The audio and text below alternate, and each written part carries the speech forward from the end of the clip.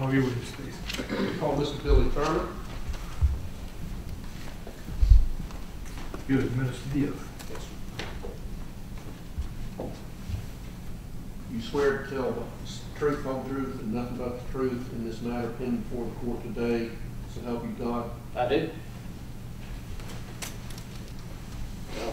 Uh, who's this is? You, you can just leave those in case there needs to be any reference to it. Would you state your name for the record, please? Billy Thurmond. And what is your uh, position with Dawson County at this time? I'm the chairman of the Dawson County Board of Commissioners. When did you take that position? I was elected in 2016 and assumed the office January the 1st of 2017. Had you had any position with the county prior to that time, at some point?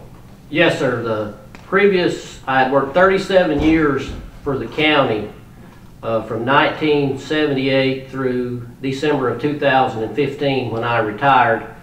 I had served from 2001 to 2015 as the county's emergency services director.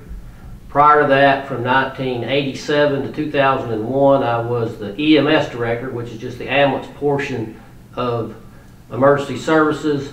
And prior to that, from 1978 to, to uh, 1987, I had done a dual role uh, for the county where I worked at the recreation park as the athletic director as well as uh, uh, EMT slash paramedic because I had gotten my paramedic degree in 1985, so I had moved up into that. But yes, I worked for the county for 37 years. During the years that you served in the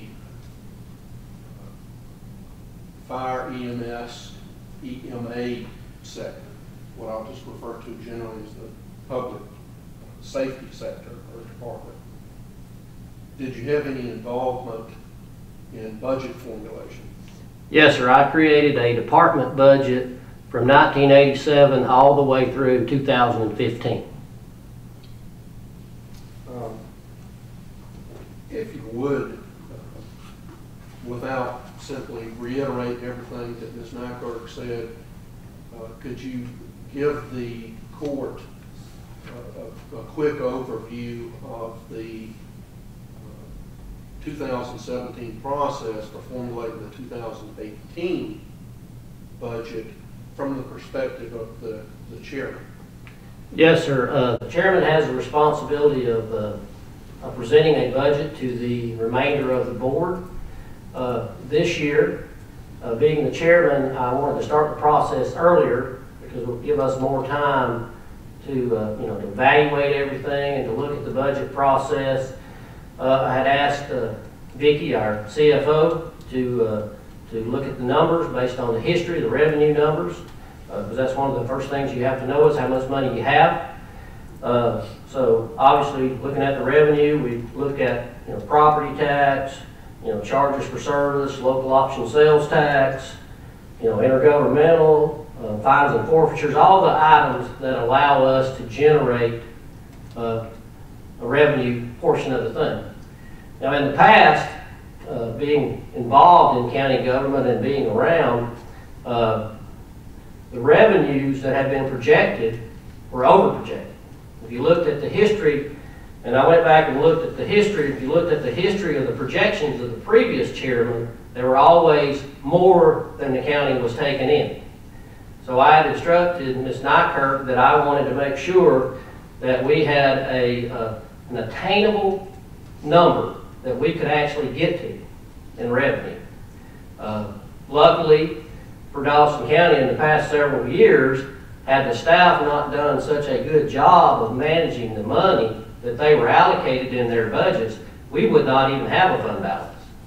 We would be, you know, uh, without the ability to even look at fund balance. So that was part of what I had instructed her to do. Then, secondly, I looked at what I call a baseline budget.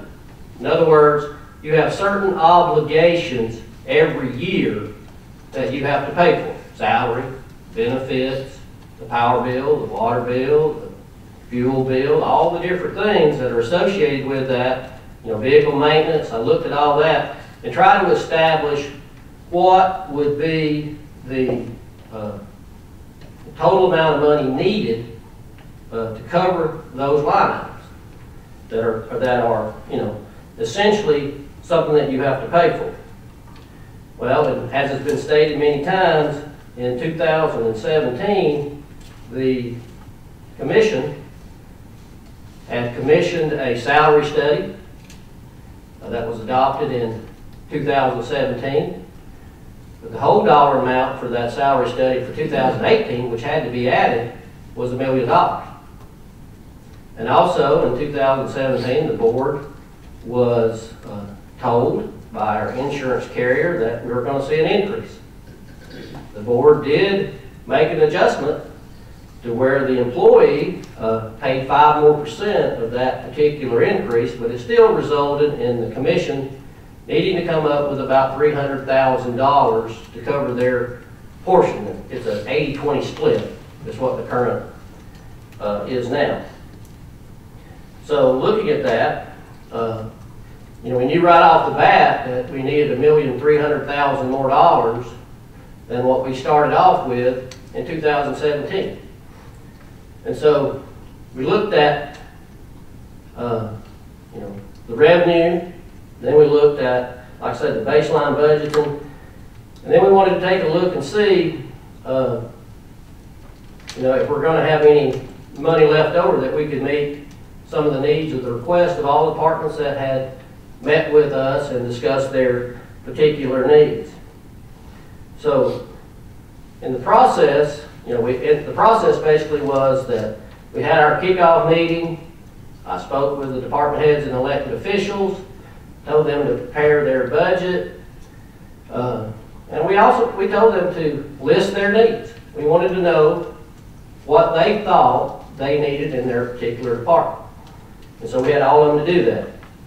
And that the biggest change from this year to the probably previous years of the past is it was my goal and has been my goal since I was elected chairman to increase the communication across the board where the citizens and the commissioners as well would see the items that were placed in the budget. So that's the reason we went to advertised public meetings to where all the commissioners could be there if they so desired. And the department heads and elected officials would come before the whole board and not just the chairman. And the citizens could also come and hear the proposals that were being made by the department heads. Because in essence, we all work for them, for the citizens of this county. And we even gave the citizens an opportunity to ask questions of either the board or the department head or the elected official. Because we wanted to have as open a process as possible. Is it, is, are you referring to the uh, opportunity for citizens to ask questions as something that occurred before the public hearing? Exactly. Exactly. And so, we met with, as Vickie, Ms. Neikirk had stated, obviously all the department heads and elected officials met with finance. Uh, went over their budgets to discuss different things, and then we scheduled uh, an appointment for each and every department head, every elected official, and other agency that gets revenue from Dawson County. We tried to allot enough time to give everyone the opportunity to explain their requested budget. Uh, The board had questions, if they so desired, for that uh, department head or elected official. And then after all of those meetings that we had, which were open to the public, we, I, then, it's my duty to present a budget to uh, the uh, rest of the board. I met with Vickie and I met with Natalie, and as she said, I did go line item by line item by line item in every single budget. I looked at every single one of them, and if you, if you look at what each department head and elected official is given when they fill out a, the thing in CSI, they can see what they actually spent in 2015 in each line item. They can see what they actually spent in 2016 in each line item, and they can see what their actual budget was for 2017. Now, we do what's called a budget to actual process. So as I went down through each and every line item, and then I looked at the request that was made by the department head or elected official, and I looked to see what their history showed that they had spent in each one of those line items. But, but let me stop you there.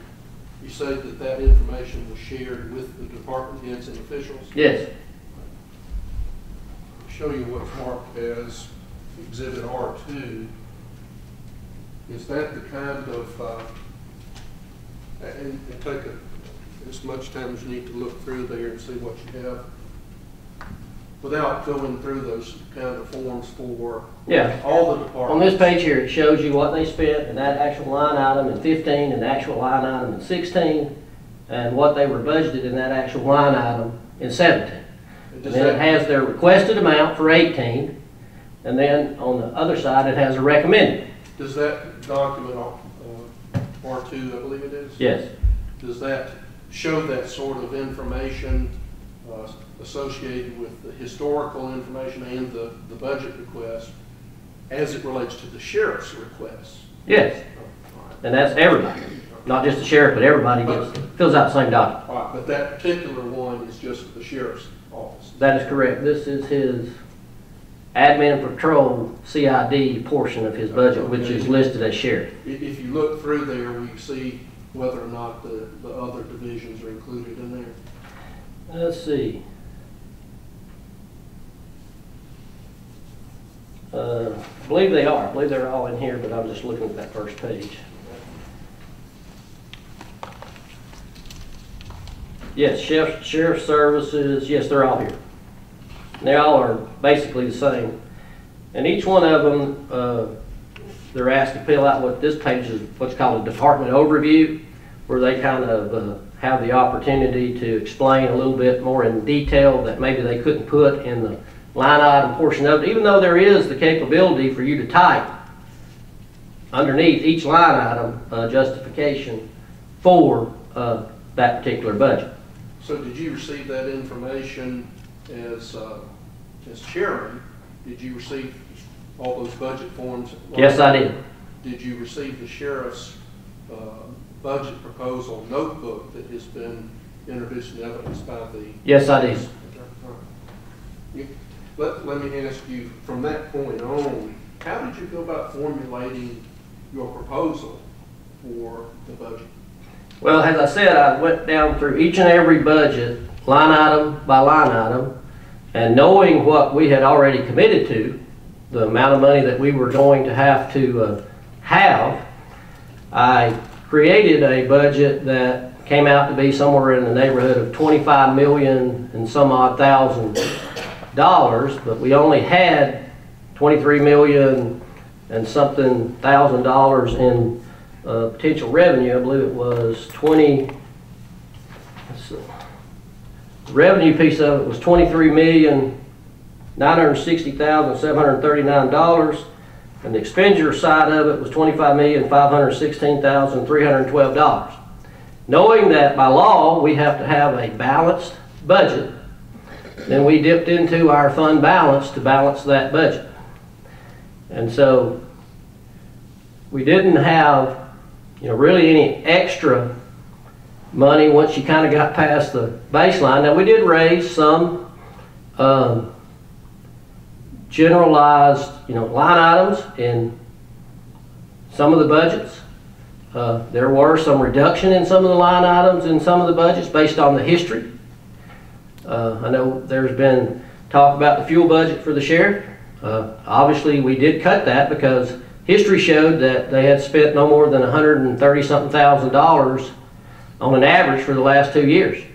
And the fact that fuel had not gone up uh, drastically, uh, we did lower that to $140,000.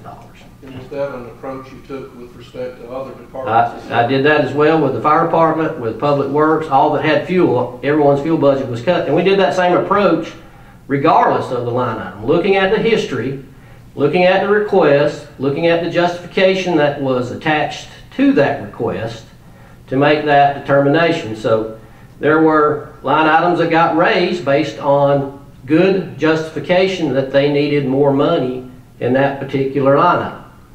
And then we came to that final dollar figure, well, I think mine might have been a little bit less than that overall, because I think the other board members added some to that at the very end. But the final budget wound up being twenty-five million, five hundred sixteen thousand, three hundred and twelve dollars, which required the use of fund balance to balance that particular budget. Is that a general fund balance, or, That's- excuse me, a general fund budget? That's a general fund budget. That's the day-to-day operating budget for all the department heads and the elected officials. Does not include SPOS. Does not include SPLOST. Those are all different funds. You have, you know, the total overall county budget, if you add in all the other funds, was thirty-eight million, six hundred and twenty-two thousand, six hundred and ninety-nine dollars was the total budget. And that includes the general fund, E nine-one-one, fuel and fleet, date fund, jail fund, LVAP fund, law library, family connection, inmate welfare, compensated assets, grant fund, hotel motel tax, SPLOST six, capital projects, solid waste, decar GIS, inmate escrow, to get to that total thirty-eight million, six hundred something dollar number. When you made your chairman's proposal of the budget on August 10th, uh, did you include a written budget document as well as the PowerPoint that Mr. Homans has already introduced as an exhibit? I believe there were, I don't remember, me I think I have it here, let's see. That was part of, the- I don't know if that was part of the PowerPoint or not. Can't remember.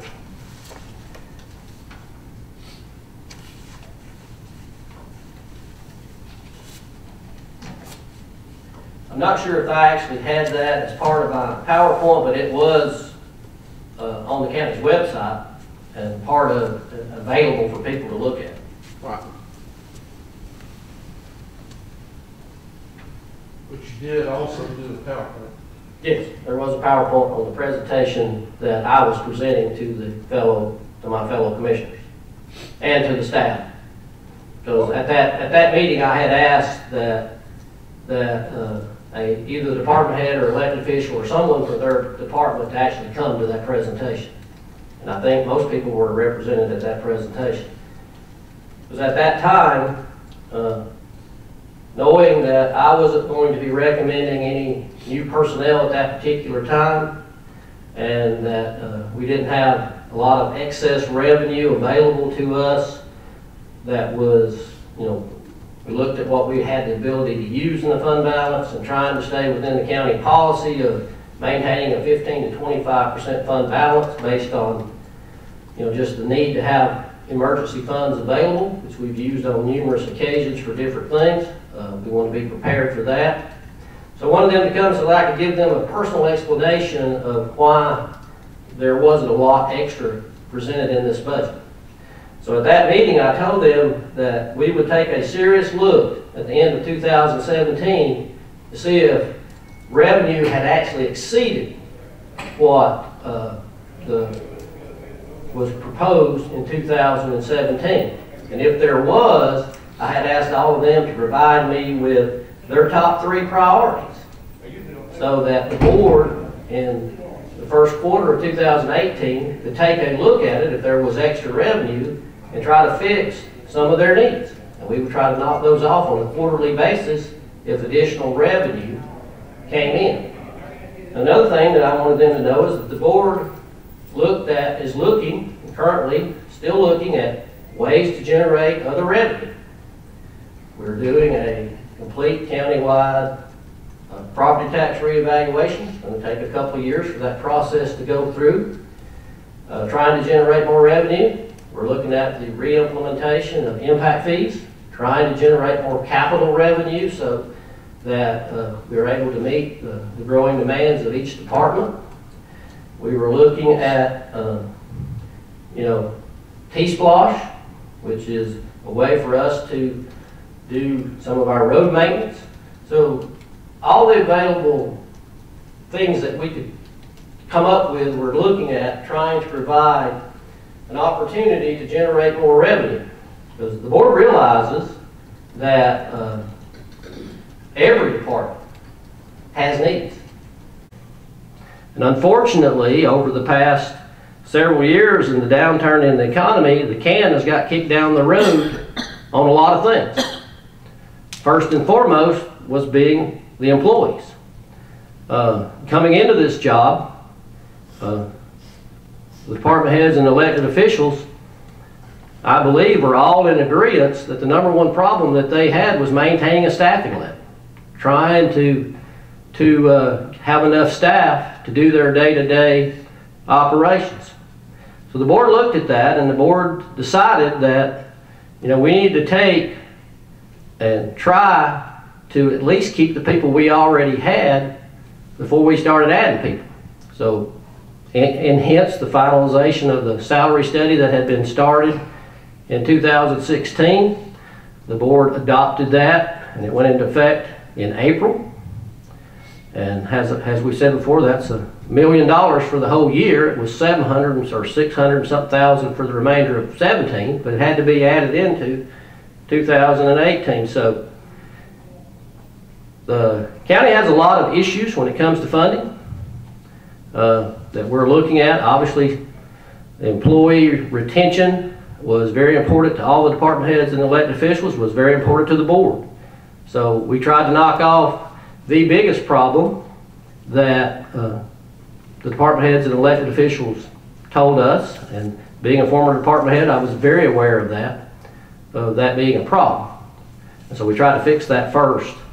And so, uh, but do, doing that, obviously, you have to have more revenue because it's a forever cost. It goes over from year to year to year. And you will see that in an effort to try to even maintain that, in the presentation that I made, uh, I had included the 2% increase that the remainder of the board took out. But uh, when we had the salary study done, the gentleman that did it for us, you know, we'd had, it- they looked at the last five years of the turnover, and we'd had a 105% turnover ratio. The gentleman stated that that was the worst one that he'd ever seen in his 30 years of doing salary studies. So his recommendation was that we adopt the salary study and continue to follow up on it so that we didn't get back into that same problem again. So the goal was obviously to fix that problem, so that's what we uh, tried to do. And like I say, with that, we had to come up with that money in the 2018 budget as well. So did the sheriff's office uh, get any uh, part of the increase that resulted in 2017 from the salary study implementation? Yes, all departments got an increase from the salary study. Is the intention, if there should be a 2% increase, pr- the funds are available sometime this, this current year, that the sheriff's office would get, his staff would get the benefit of that 2% increase as well? All county employees would.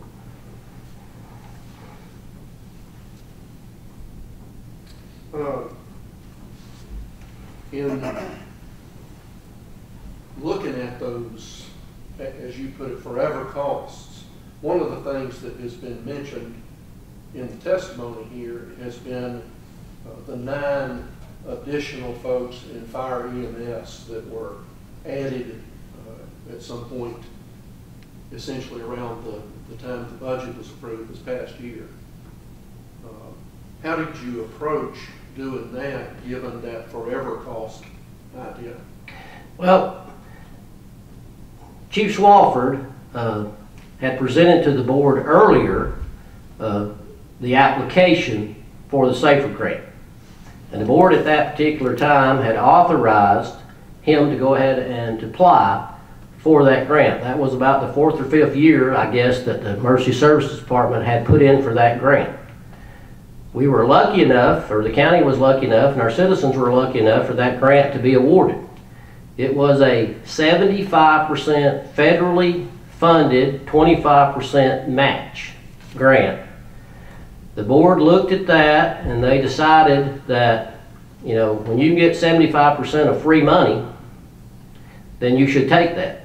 And one of the things that I had told all of our department heads and elected officials uh, in my uh, initial meeting I had with them was to look heavily at grants.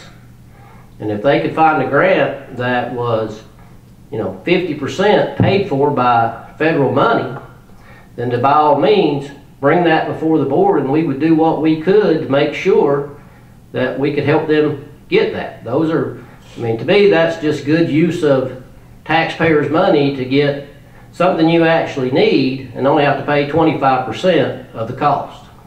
And the board looked at it the same way. Well, what happens at the end of the, the grant, the safer grant time with those nine people that were hired? They were told on the, on the hiring that this was only a three-year guarantee of a job, based on the fact that it is a three-year grant. And they were told when they were hired that hopefully the board and the county finances would be good enough for them to be continued to work. But there was no guarantee to them that they would have a job beyond the three-year period of the grant.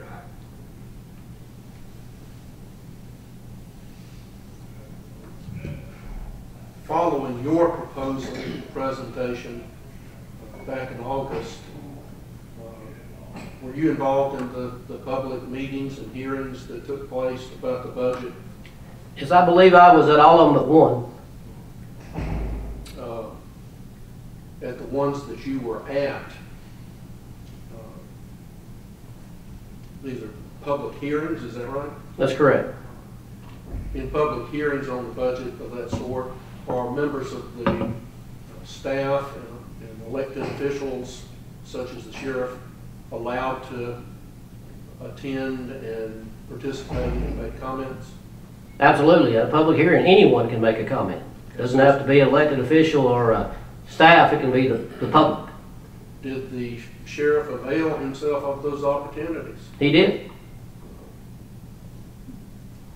on more than one occasion? Yes, on more than one occasion. Was his attorney allowed to speak on his behalf as well He was? on more than one occasion? Yes. Did he submit correspondence to you, his attorney? In, re- you talking about, Verbal? Regarding the budget. yes, yes, we discussed it. And uh, there was discussion in the testimony earlier about, in, in reference to a letter that was attached to the, from the attorney to the board, that was attached, a copy of it to the uh, petition, with respect to a hearing that was held, uh, I believe it was August seventeenth, maybe, where there was not advertising and notice sufficient to count that as the public hearing that's required by statute. You, you remember hearing that testimony? I am familiar, and I also received that letter. All right. Um, Was a hearing held that did satisfy those requirements? Yes, more than one. Okay. And uh, at the end of the, the sequence of hearings, did you schedule any other meetings or, or hearings where the sheriff could have further input?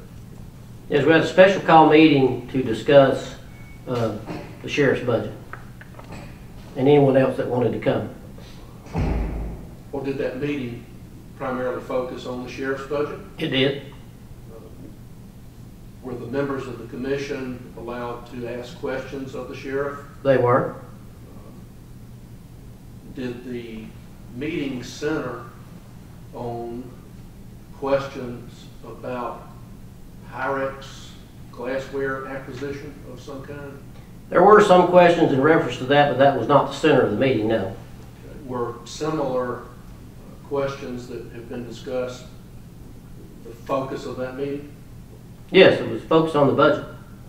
Okay. Budget overall? Yes, the 2018 overall budget, yes. The, the board asked questions because they had some concerns. And so, obviously, that's their job, is to ask questions if they have concern, but the meeting was centered around the 2018 budget. Was There the were questions asked about 17's budget by the, by the board members that they had some concerns with as they were trying to tabulate what they were going to do in 2018. Were uh, the sheriff and his staff, his attorney, allowed to speak at that meeting? They were. Uh, Were they limited at any of these meetings as to how much input they could give or what they were allowed to talk about? No, no limitation. Um, Was their time limited? Were they ever cut off No, because of time? no. Um,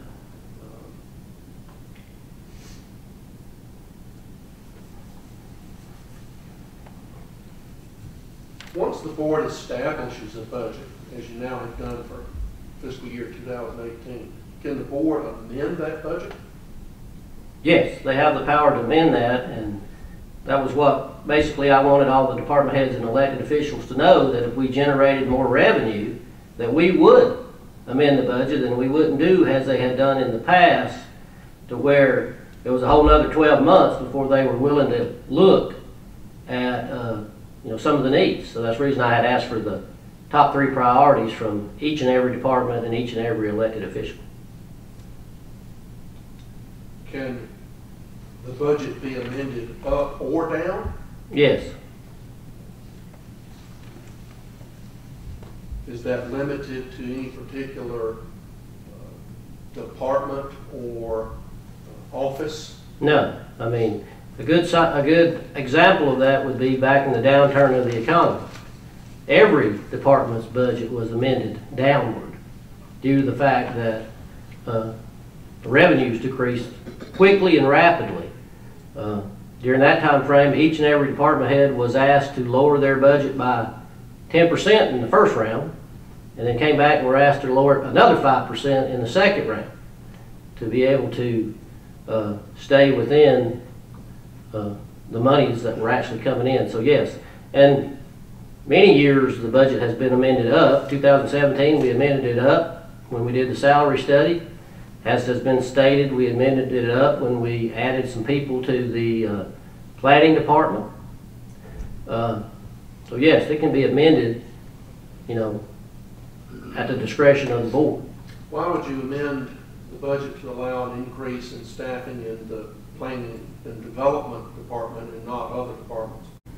Well, the planning department, they, you know, obviously is the department that sees the, you know, the growth first when it comes to housing permits, it comes to, uh, uh, permits in reference to, uh, commercial. We've seen an increase in their inspections, so we, uh, approved, I believe it was another inspector, and we approved, uh, another person to help them in the office. How did that affect uh, or take into account the bottom line on revenues and expenditures that relate to planning and development? It increased their budget in reference to the expenditure side of it, yes. But one thing about planning and zoning too, with the increase in the, uh,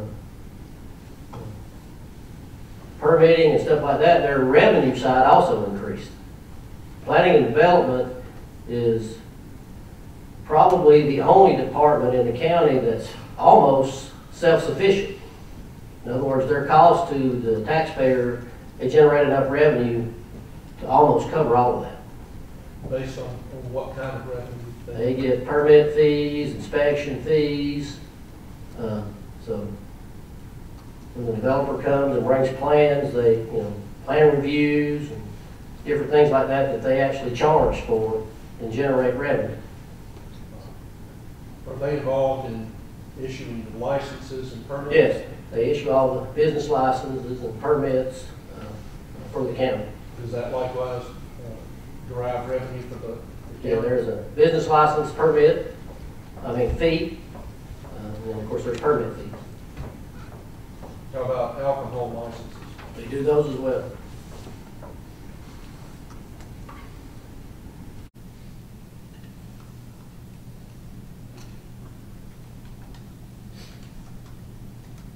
Did the sheriff office budget for 2018 increase overall as compared with the 2017 budget? Yes, even after the amendment. E- Even considering the amendment that's been discussed, Yes, it did increase. uh, the salary adjustment amendment, Primarily, as it's been stated, it would be in salary and benefits primarily, yes, but it did increase, as everybody's did after the amendment. Everybody's an eighteen increase because if you just looked at the basic, in two thousand seventeen, when we did the salary study increase, that began in April. So you had the first three months that had to be added into eighteen, so everybody, every single department in the county that the county pays somebody in saw an increase in their 2018 salary budget, has that even after the amendment in 2017. Every single department saw that. so the sheriff's general fund uh, budget from 2017 to 2018 increased? Yes. How about the SPLOST uh, appropriation for the sheriff's office? Yes, I believe it went from 500,000 to 600,000. And he, and in reference to the entire budget, if you look down through, you know, there were some line items that went down based on history. There were some line items that went up based on justification. Uh, there were some line items that stayed the same as they were in 2017. Uh, But that was part of the process of me going down every single budget line item by line item before I made my proposal. Did the final approved budget uh, parallel the proposed budget that you had submitted earlier exactly, or were there changes made to it? There were changes made to it, it wasn't exact. How did those changes come about? Well, I present my budget to the entire board and to the citizens in a meeting. And then the, the commission takes that and then they come back. If they want to make changes to that proposal, uh, then they present those, then those changes are presented. And it's up to the board if they decide they're going to vote for those changes or they're going to go with what I proposed. In the, in the particular case of the 2018 budget, um, what is your understanding of how the, the changes that were made from your proposal to the final approved budget, how and why those occurred?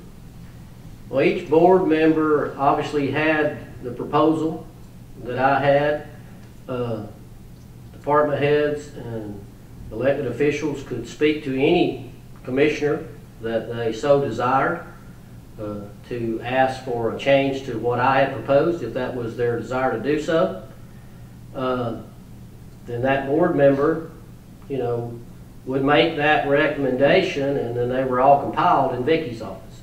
They were compi- compiled by her once the, each board member, you know, might say, well, you know, like, for example, I don't remember which one it was, but one of them wanted to take out the two hundred and something thousand dollars that I had appropriated for the two percent salary increase. Was that in fact eliminated? It was? Will it be potentially reconsidered in light of what you were saying earlier? Yes, and the board had agreed that if the revenues picked up so that we wouldn't start back down that same trail of not paying our personnel what they're entitled to, what they should be getting based on the salary study, that they would take a relook at that in the first quarter of 2018, and if the revenues increased, as we hope, as we all hope that they would, then we would take a relook at that and, uh, put that on an agenda for a vote.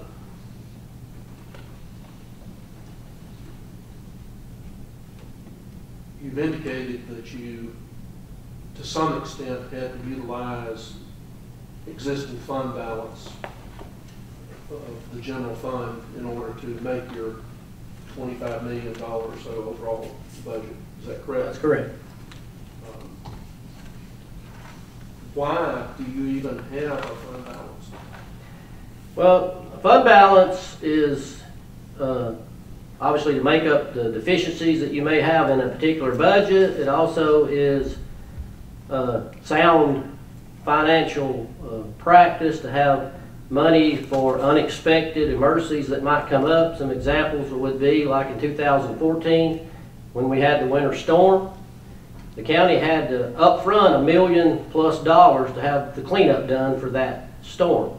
Now, we got most of that back over uh, two years later from FEMA and GEMA uh, due to good work by the staff and documentation after the federal disaster that was declared. We've had other situations where we had a fire truck that was wrecked. uh, So we needed, you know, three hundred fifty, four hundred thousand dollars to replace that. uh, beyond- So that we could have, you know, a fire truck at that particular station because we don't have any spares. There's been other instances, uh, you know, where uh, fund balance is, you know, used. Uh, Like when, you know, uh, we did that 2017 in the planning department. It's there uh, for the board to use uh, when they are presented with a need that they feel that's important enough to, uh, to uh, get into the fund balance, but they also realize that it's important that we stay within that 15 to 25 uh, percent parameter for those, you know, emergency situations. Uh, Another example would be, you know, God forbid, we had a murder case where we had two or three defendants and we had to pay for their attorney. And so, you know, you have to be, as a county, you have to be prepared for what you don't know might come and need some funding for that, or you wind up doing like uh, Mrs. Neikirk said, you get into what's called a TANs, and you have to go borrow money against your property tax that you're going to collect for the next year. Well, that's a, as everyone here would know, that's a process that you're not going to win with, because you're spending money in a year that should be used in the next year. And so it's important to have the ability to have some fund balance. So if, you were to do a, a tax anticipation note, a TAN, to finance a given year's, uh, budget at, at a given point in the year, how would you repay it? You have to pay it with the tax collections of that particular year before, and which means you would automatically be that many dollars behind to begin with. Um, It's not a long-term loan, it's a same-year loan. Well, going back to the uh, fund balance idea, you say, you, you mentioned the same range of fifteen to twenty-five percent of the, the overall budget. Where do you stand, where do you stand at this point in terms of the county's general fund, fund balance? In, in, terms of that percentage range? With what, if I'm, if I'm correct, I believe that with what's been proposed for usage in seventeen, which we're still getting all those final numbers in that, and what's been proposed in two thousand and eighteen, usage, we'll be right at fifteen percent. If that all gets used. Now, hopefully that will not be the case to where all of that will get used.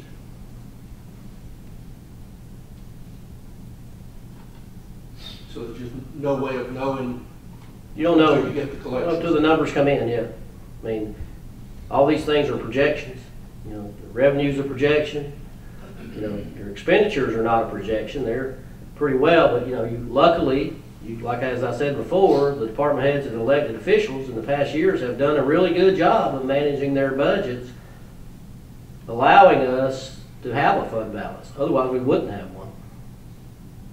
Well, I apologize if I've already asked this, but in terms of amendments to a budget during the year, uh, Ms. Neikirk was asked whether the two hundred and sixty thousand dollars that was included in the sheriff's budget uh, as a capital item to cover half of the estimated cost of the CAD system um, could be taken away. You recall that? Yes. Uh, Is it your understanding that that could be taken away? The board does have the authority of that, but I see no reason why that would be done. Could the board, uh, again, reduce the budget as to other items in the general fund for the sheriff or, or anybody else, any other departments or officials, if it saw reason to do so. Well, it, you know, as, as was in the downturn of the economy, uh, if that happened again in 2018, which it doesn't look that way, we would have to go to all the department heads and elected officials and ask them to uh, cut a percentage so that we could maintain, uh, you know, a balanced budget. Now, that would be up to, as before, when they did it before, they left that discretion of what they were going to cut up to the department head or the elected official. The board did not determine what the cut would be, no.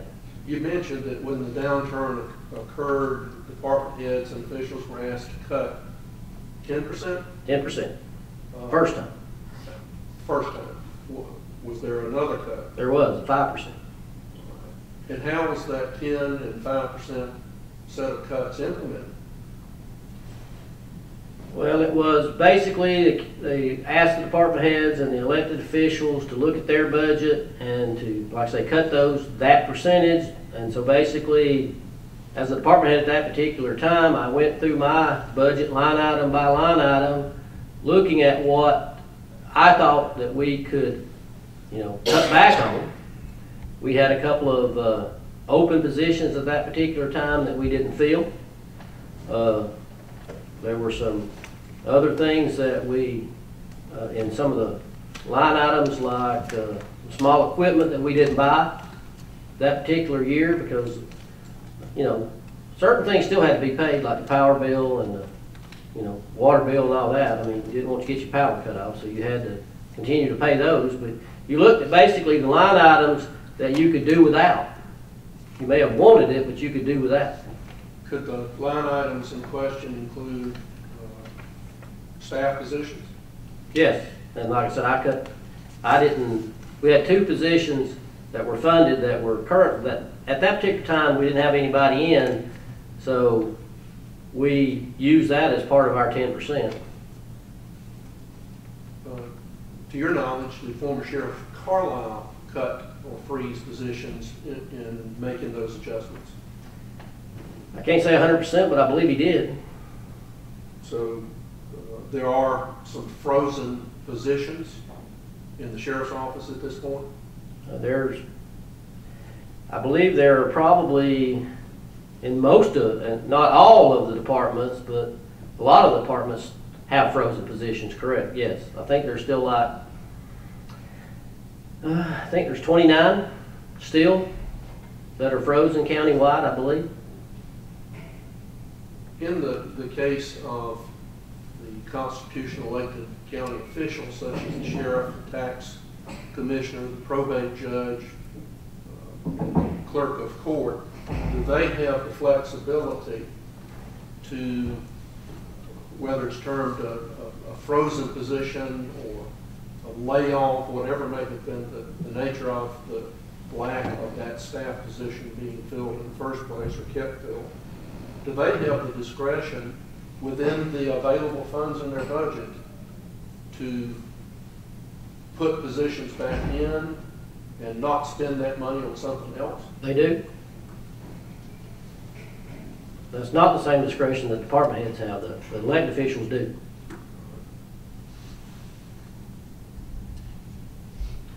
Going back to the, uh, the amendments to the budget for reduction purposes, uh, particularly the CAD, uh, capital improvement element of two hundred sixty thousand dollars in the sheriff's budget, are there any plans to make such reductions?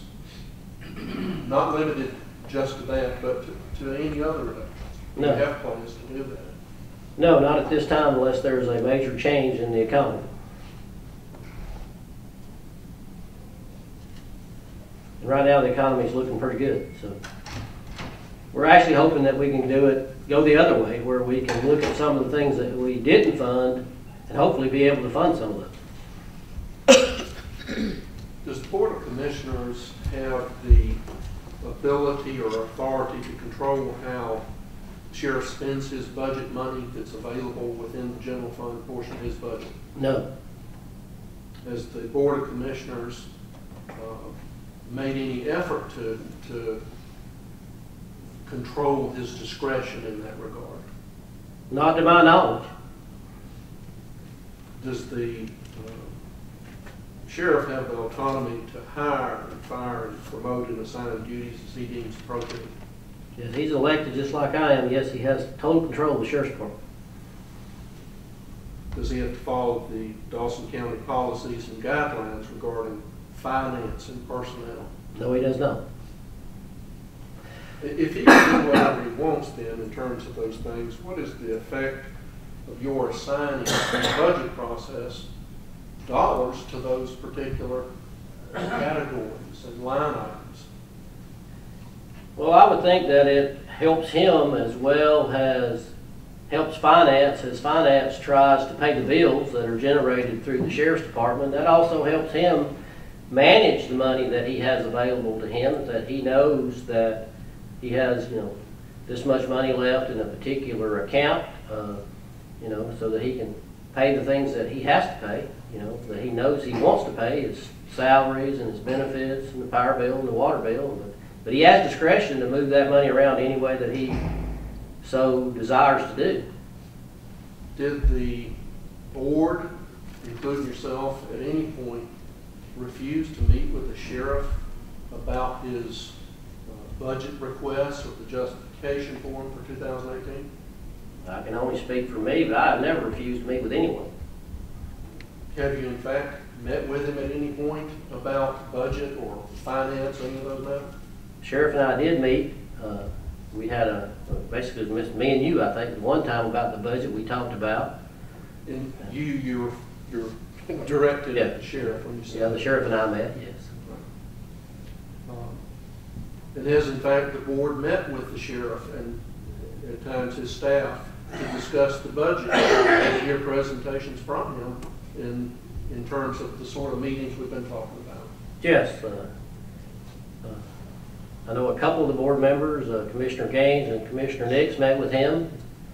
Uh, The way it's set up, only, outside of a public meeting, only two commissioners can be together at the same time and discuss, you know, county business. So they met with him, yes, uh, in that. And then, of course, at all the other meetings or public meetings that we had and, and hearings that we had, obviously, you know, the sheriff was afforded the opportunity to come, he did, and speak and talk about his particular budget and his particular needs.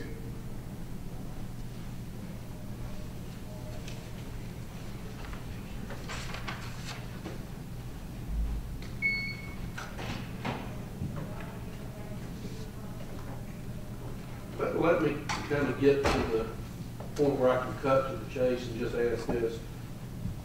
Why didn't the Board of Commissioners fund all of the requested items that the sheriff put in his 2018 fiscal year budget proposal?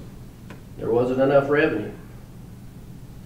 Even with the use of fund balance to fund, uh, the board looks at the entirety of the county when we're doing a budget and trying to be as fair as possible across the board, uh, come up with a budget. Uh, And in this particular year, in 2018, uh, with the uh, additions that had already been approved by the board in 17, basically, every budget wound up being what I would call status quo. In other words, not much change other than the things that we were already obligated to pay for. And in my presentation, as you will see, there was, you know, at that particular time, no uh, positions uh, for any department. And then there were some changes made to that as we found out about the grant, and then obviously, uh, the board saw fit that there was a, a need for another school resource officer, and there was already a commitment from the school board to fund half of that. And so they saw fit that for the safety of our children, that go to the school, that they wanted to put that back in the budget. When you say the grant, are you referring to the safer grant I am. for fire officers? I am. Had they not got that grant, they would not have gotten anyone. If you wanted to give more to the sheriff or anybody else in terms of allocation for expenditures, under the general fund, would you have any way to come up with it that the money fund those additional appropriations? That you can think of other than, for example, raising the millage rate or further invading the general fund, fund balance? No. Or- uh, The millage rate would be- Let me- let me finish. Okay. Or taking away from some other place in the budget if there's not enough of an increase in the course of the year to cover this. No, because, you know, the sheriff as well as our other elected officials and department heads operate their budgets, uh, you know, you know, as a, pretty much at a, I would say, call it a get-by level. I mean, we've got, you know, a lot of departments that need help. That's one of the reasons that the board is looking at, uh, other mechanisms of generating more revenue.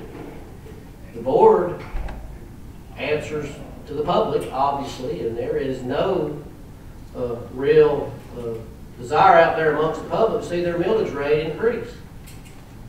But in discussions with the board members individually, you know, I've said that, you know, if, if the things that we have put in place don't work, we're gonna have to look at a potential millage rate increase, because unfortunately, from the downturn in the economy, and we still haven't, as has been mentioned, we still haven't got back to where we were in property tax. Uh, we've seen increases in sales tax. Those increases on a year basis don't match up to what we've still not regained in property tax. We're actually generating budgets today that were less than the budgets of 2008, 2009. So, uh, and those budgets were being funded by revenue that was being generated. So we're still trying to get back and create ways to generate more revenue so that we can meet the needs of not only sheriff, but all the departments and all the elected officials. Because as we stated, and I think all the board members stated in the meetings publicly, that they knew they needed it. And so we want to, uh, you know, get to that point. I think our request, I don't remember exactly what it was, but if you looked at the request for the entire county that the board had to look at, it was like an additional two point seven million dollars of additional requests countywide. Well, that equates to about two, two point something mils of property tax. So Had it been approved. had it been approved to do everything that was asked for, we'd had to raise the millage rate by two point seven mils. Uh, That's not a popular move amongst the constituents. Uh, So, you know, the board has tough decisions that they have to make when it comes to that, but, you know, it may require, if things don't change and the econ, even though the economy's doing better, uh, and these things that we put into place don't generate the revenue we need, then we may have to look at raising the millage rate, and those are things that we've discussed individually, and that I have personally told each and every board member that we may have to do. Uh, I think it's all about explanation to the public and letting them know where we are, and I have tried to do that throughout the first year that I've been in office, is try to explain to everyone where we really stand. Thank you, sir. Witnesses, would you? Thank you. How long, How long do you think you'll be across? half hour or so, Judge? Let's take a ten minute recess before we, before we do that. We'll take ten minutes and then recommence. Proceed when you're ready. Thank you. Uh, Mr. Chairman, the, none of the other four commissioners have appeared throughout the trial over these last couple of days. No, sir. Uh, You mentioned about the funding, the planning department, and that they bring in revenue, and you're aware, of course, that the sheriff's office is strictly limited by law Exactly. The revenue they can bring in, otherwise they try to become a revenue producer, they'll wind up in a bad place, right? I'm familiar with that. Unfortunately, we have a lot of departments that are restricted. Okay. All right. Now, um, these changes, well, first of all, let me ask, uh, when you mentioned that you met with the sheriff uh, about his budget, Yes, you didn't go through line item by line item with the sheriff regarding his budget, did you? not at that particular meeting with just him and I. We basically discussed, uh, I think if I remember correctly, Sheriff, and correct me if I'm wrong, I asked you to put in everything that you needed. uh, Knowing that we probably couldn't fund it all, but I did, as I did all the department heads. Uh, But, you know, it was our desire to, uh, try to, uh, come up with, you know, ways to fund the needs of the department, you know. Uh, The commission and I have talked about this on numerous occasions, that, you know, we don't want to run anybody's department. I don't know anything about running the sheriff's department.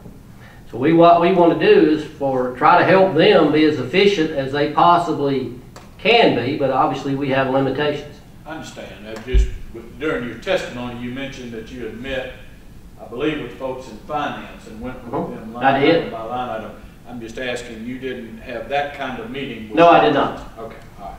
Now, these proposed changes that I asked Ms. Neikirk about, Yes, sir.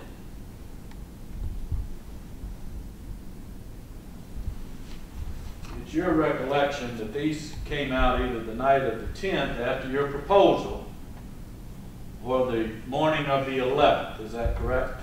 I think so. And that was the first time you were aware that, the email says some commissioners, but that here it says the board. That doesn't include you, right? That does not include me, no. So that was board of commissioners and you had. Individual people, yes. Well, Wasn't the whole board, no. all right, so, so then this reference here is incorrect. It should have said some commissioners. All right, and so the process, as I understood what your testimony was, your process was that you wanted the department heads, including the constitutional officers, to come to a public meeting Uh-huh. so that the public could ask questions and participate, right? Exactly. And that was the process that you put in place and that you all followed. That was it. Right. And then you came to uh, a scheduled meeting and told the department heads and the uh, constitutional officers that they ought to come to that meeting because you were going to make your budget presentation. Yes. right? But you would agree with me that these proposed changes uh, were not discussed at all in public before this was published. Uh, no, I don't believe it was, no. They've asked me to turn this off after. Okay. I may have turned it back on. That's fine. Now, you, you and, uh, uh, Mr. Frey have referenced a document that says estimated revenue. Do you have that where you put your hands on it? I do, right. Same one you have, part of the I evidence. just can't find it. Oh, this was, uh, this was your budget for all funds. Yes, No, I was asking you about your historical reference of estimated revenue. I thought you had some document that you said. no, I was years talking past. about the, uh, 2018. Oh, in the, well, I'm, I'm referring back to the CAFR reports that are done annually. I have gone back in this process and looked at what type of revenue was generated versus what type of revenue was actually proposed in those budget years. So I went back all the way to 2010, looking at what's called the audit report.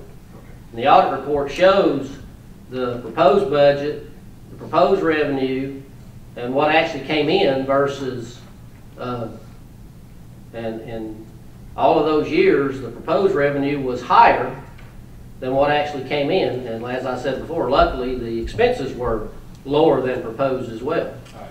But what, uh, my question is, you don't have a separate document? No, sir. Okay. No, sir, I was just looking at the CAFR report online, which is available to everyone.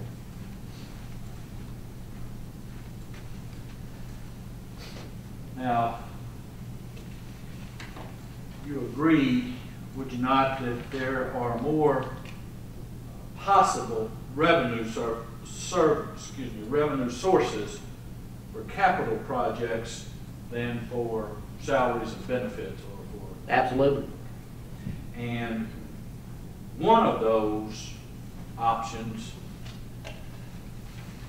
is SPLOST. Yes, sir. It's only could be used for capital projects. That's right. And in this case, we've put this up before, but you have an- a SPLOST that was approved in 2014, began collection in 15. Mhm. And we have in here sheriff vehicles and equipment for three million eight hundred eighty-three thousand dollars. Yes, sir.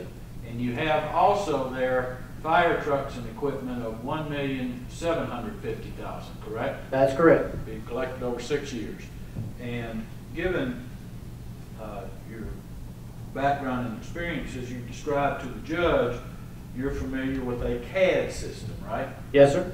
Right, now, the CAD system uh, is one of the most critical pieces of equipment for the sheriff uh, office as well as for the emergency services.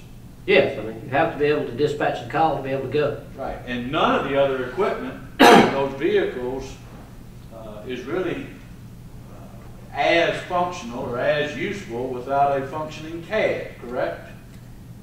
Well, you're not going to send a piece of equipment unless you've got a CAD, but uh, I don't know that I would agree that it's not as important. All right, and then once you're out, particularly a sheriff's department, if they're out on the road and they've got a CAD system and they're trying to deal with a criminal situation, without that ability to communicate, a lot of the equipment they have is just not as useful. Exactly. Okay. And that's really the same for my firefighters, if they're not able to dispatch back and forth. Exactly. You have to be able to talk. All right. And as a funding option, then SPLOST money would be available for this kind of equipment, correct? That would be, I'm not, I obviously don't know the the legalities of it, but looking at what the people voted for, I would say that would be stretching it in the gray area. All right.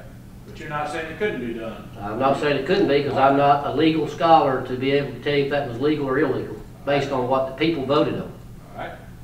And what the people voted on was this resolution, right? Yep, All right.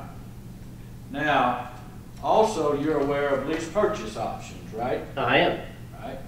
Right? And in fact, Mr. Frey, at y'all's request, had sent a, uh, opinion over to y'all about acquiring the fire engine, and that was October 4, 2017, right?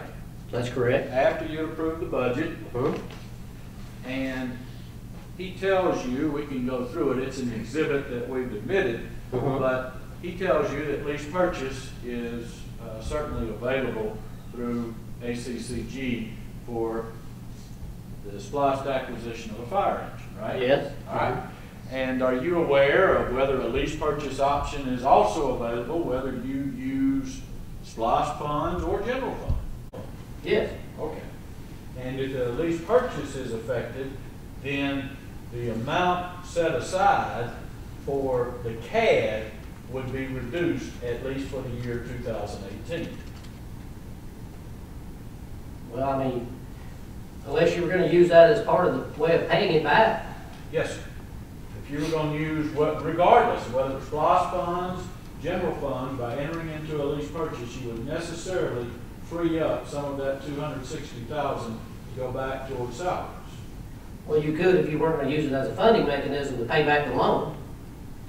Okay, but You then. gotta have, a you gotta have a philosophy of how you're gonna pay that loan back. All right, and in this case, the funding philosophy was to set two hundred and sixty thousand aside and not use it at all in eighteen, correct? Correct? And then to fund the balance in two thousand nineteen, That's correct. correct? That's All right, correct. so that was already the concept proposed by the Board of Commissioners was to use the general fund money over two years.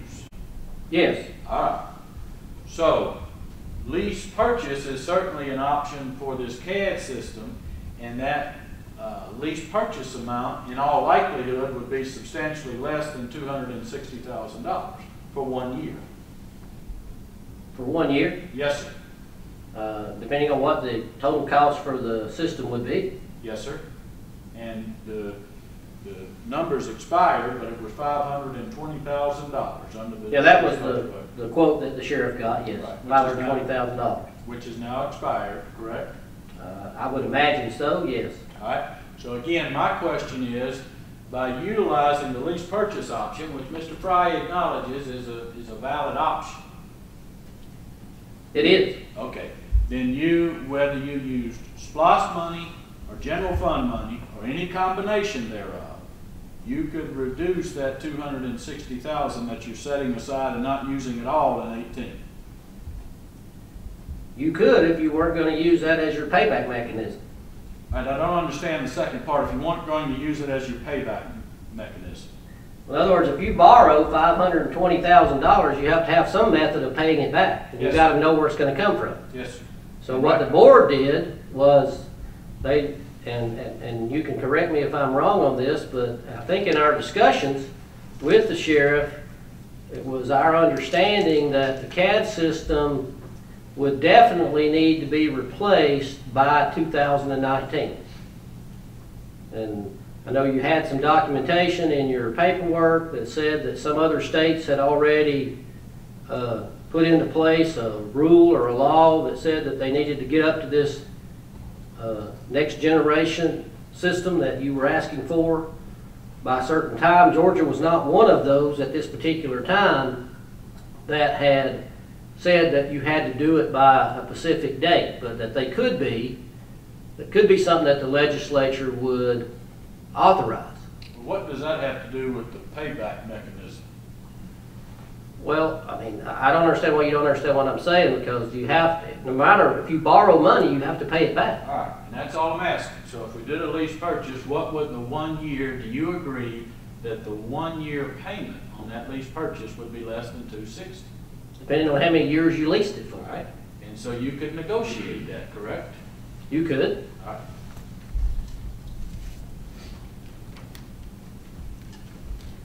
And in the meantime, uh, could also seek grant funds to contribute toward that payment. Absolutely. And we encourage our department heads and elected officials to go after all the grants. And so you acknowledge that at least for personnel purposes, you can't use SPLOST money, right? That's correct. And obviously lease purchase money is not available. In other words, that's not. Not the, not the pathway by which to go, because it's a forever cost. That, and that's what I'm saying. So when you get to individuals, uh, you don't have those same funding options that you have with a capital item. That's true. All right. Now, you, you were mentioning that it's a forever cost, and as an answer just now. When you provided a response about hiring the nine employees for the fire department, you mentioned to them that they would only be employed for three years. Yes. That was a possibility. That was the possibility. All right, and, and in Dawson County, we don't have a civil service system, right? Nope. And the only contract we have with any employee is with the county manager, correct? All of our employees are at will, to my knowledge. All right, so any employee is really not guaranteed employment for any particular length of time. No, All right. they don't do their job, they're not, no. Right, but for any reason, since Yeah. that will, you could say, and just as you pointed out, if funding wasn't available for any reason in the future, then that position may not be available. So that's really true for all employees. It is, and that's a department level and elected official level, they'd have to make that decision on their own. Right. But uh, when this budget was approved, approximately hundred and fifty thousand came out of fund balance to uh, fund those positions in the fire department. Yes, that was part of the fund balance total that was used to balance the budget. Okay. But that's when, that's how you budgeted for these specific provi- positions was to come out of fund balance. Yes, as well as the other one point something million dollars that would be used for whatever. Right.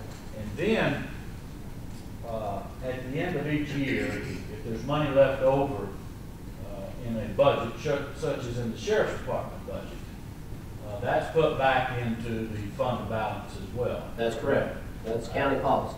Right.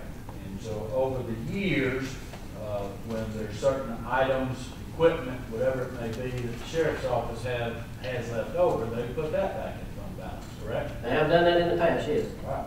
Now, you also mentioned in your uh, testimony that the sheriff directs payment as long as it's within his budget.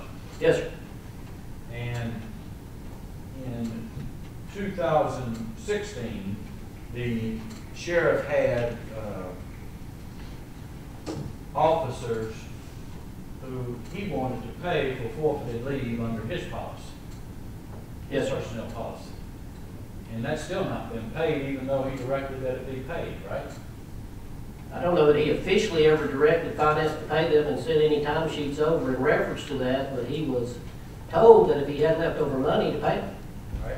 And by then, the money had already, the county took position, it had already transferred from his control to a fund balance. What, what we told him was to use 2017 leftover money to pay them, because of, because that transition had already took place. And, but you would not allow him to use what was left over from sixteen, That's correct according to the policy, yes.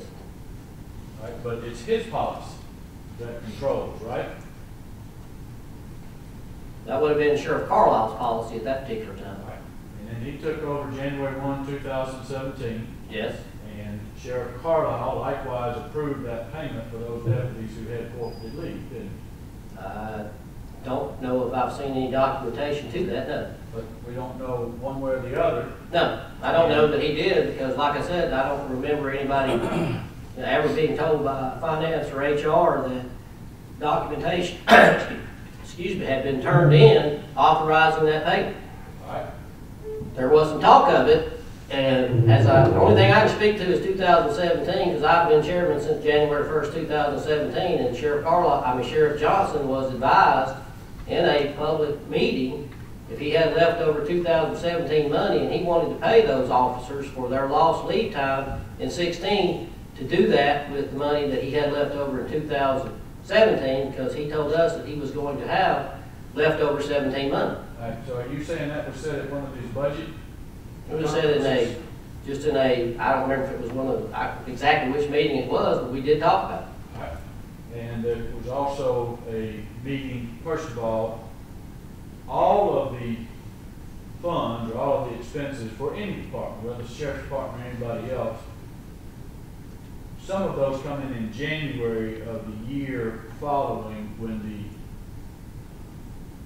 the liability or the bill was incurred. In other words, you'll have items that are done in December, but you don't get the bill till January. Is that correct? That is correct. Right, and so the sixteen amount budgeted would include those items that you just don't get the bill for until sometime in January. Yes, All right, so then the sheriff taking over in January one of two thousand seventeen would still be entitled to control events that occurred in two thousand sixteen under his policies. had he turned it in, yes. All right, so then it's up to the sheriff to turn something in in writing to say, pay this. To my knowledge, it would be yes. And you, whether he did that, you don't know whether he did that. I have no idea. Right.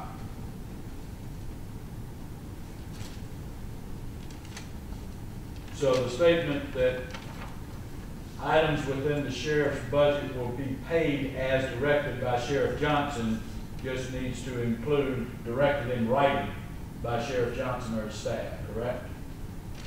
Turned in in some form of a bill or something coming from him that says he wants it paid, yes, because he can spend his money. I know the county has a, uh, I think there's a cutoff date for bills that come in after December thirty-first. I think it's sometime first of February.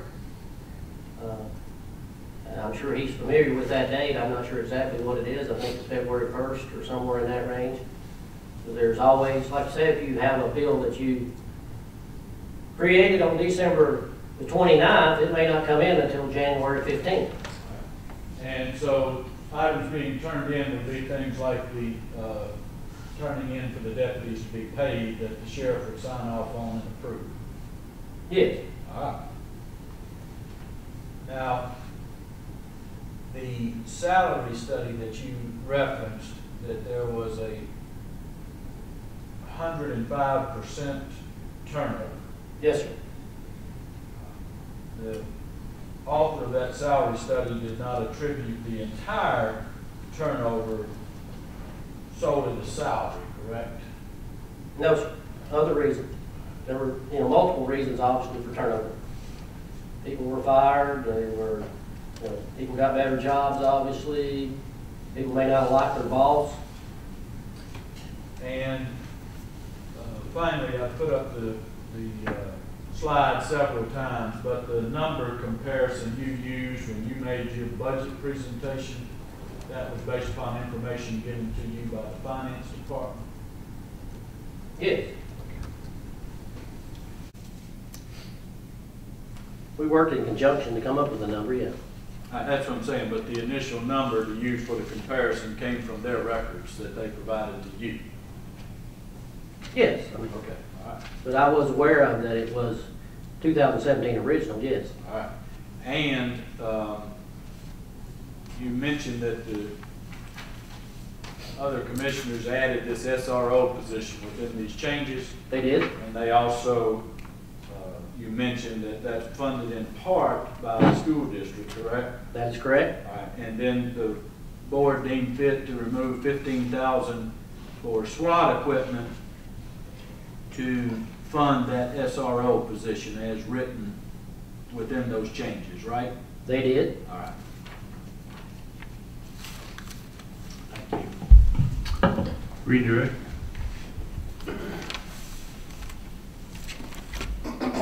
Just for clarification, you referred to the CAFR, Oh, That's the audit report. that's the Comprehensive Annual Finance Report that uh, is Online. in evidence, exhibit R three. Uh, and, and is online. all the way back for several years, yes.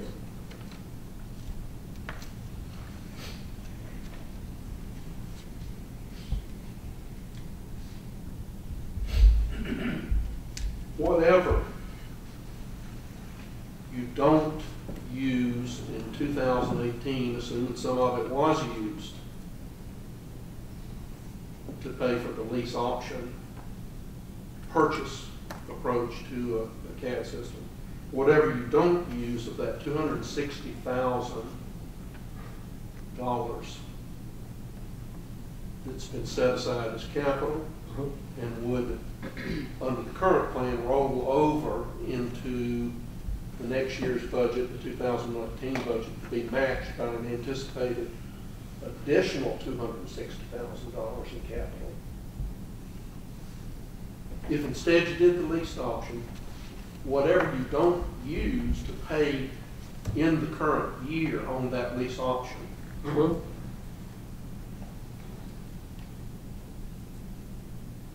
either would be available for something else in the current year, Correct?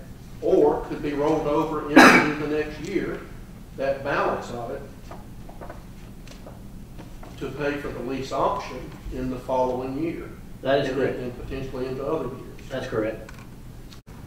The board would have discretion of how they would want to use that. They could either buy other capital projects that were not considered or funded, or they could consider to move it wherever they, you know, so desire, they would have that authority. So if you were to negotiate a lease option uh, purchase of a CAD system that was one that required two hundred and sixty thousand dollars in payment that first year, obviously you'd be using it all. Exactly. If it extends over enough years, then there would be that many payments of whatever the number turns out to be, to be made in the future. That would be correct. So that money could be rolled over for that purpose. It could be.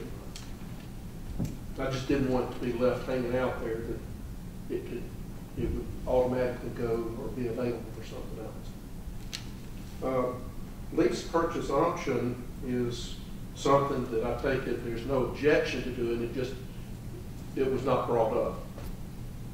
Is that correct? don't remember it being brought up. Now, we have used it in the past, yes, but I'm not familiar whether it was brought up in reference to that or not.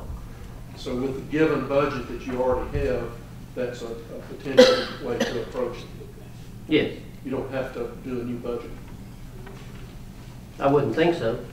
I mean, I'm not sure exactly about all the financial rules associated with it, but I wouldn't think so.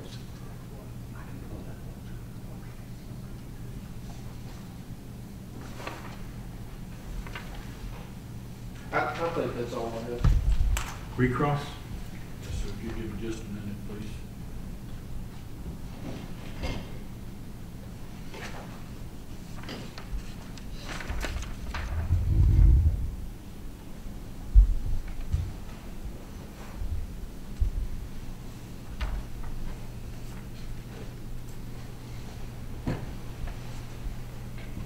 Chairman, I'm going to represent to you, this is attached to our petition, which is a letter dated September 7, 2017.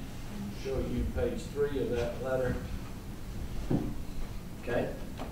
Sheriff remains willing to work with the county to resolve this matter. The $260,000 proposed to be set aside for 2018 should be eschewed. CAD system serves the sheriff's office and other public safety functions, qualifies as a SPLOST expenditure, and should be programmed. And then this two sixty could then be added to the sheriff's budget to reduce the shortfall. So that information was provided to the commission as part of the process that has been described, is that correct? Yeah, that was as a potential SPLOST expenditure, yes. Okay, and then, in the meetings, the discussion, or in the various discussions that we had, the meetings also included the option of uh, lease purchase. I'm not sure. I can't, I don't remember exactly whether we discussed lease purchase or not, but we could have. Okay, all right. Thank you. Nothing further, Your Honor. Okay, you can come down. Thank you. We rest. All right, any, um, any rebuttal? No, thank you.